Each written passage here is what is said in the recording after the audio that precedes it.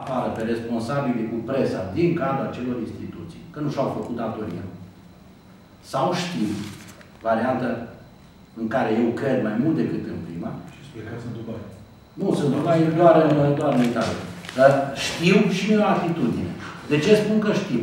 În ședința de Consiliu Local de săptămâna trecută, care se întâmpla la câteva ore după conferința noastră de presă, dacă bine știu, cineva din juriștii Consiliului Local s-a apropiat de primarul Hava și a spus, uite, Potor, ce vă face, că vă zici. Nu cred că era vorba de numele lui Hava nici Tempo. Era vorba de primăria Baiu. Va spune textual ce a răspuns Hava, dar nu pot decât să folosesc bip, bip, bip, bip.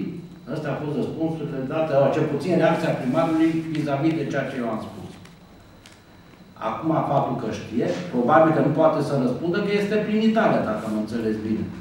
Păstorește orașul și grijile albaiulienilor stând prin Italia. De acolo se lucrează foarte bine pe... De sud sau... Nu știu, când o să vin, o să-l întreb, oricum o să-mi răspund. Trecând la, la seriozitate, o săptămână încă mai aștept. Cred că și domnul Crețu, acum dau nume, și domnul Hava, sunt datori, cum ales de Alba Iulia, să-i transmită datele pe care le-am cerut. O săptămână. Până la următoarea conferință de presă. Dacă doresc.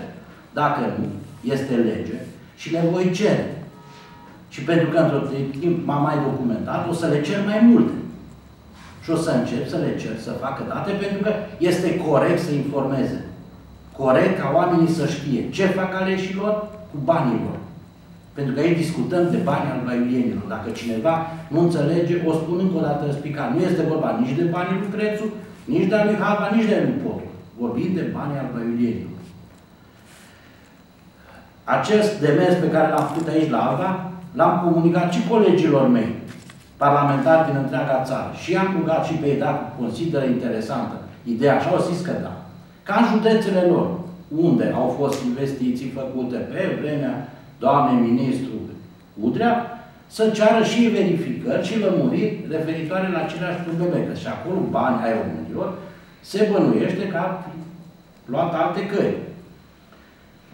Nu doar eu m-am gândit la lucrul ăsta. Am aici un uh, comunicat de presă după o conferință de presă ținută de un consilier județean uh, și secretar executiv a PSD Arad în 17 februarie, care cere atât uh, președintele Consiliului Județean Arad, Nicolae Ioscu, dar cât și primarul Gheorghe Falcă, să-și clarifice relația vis-a-vis -vis de Elena Udri.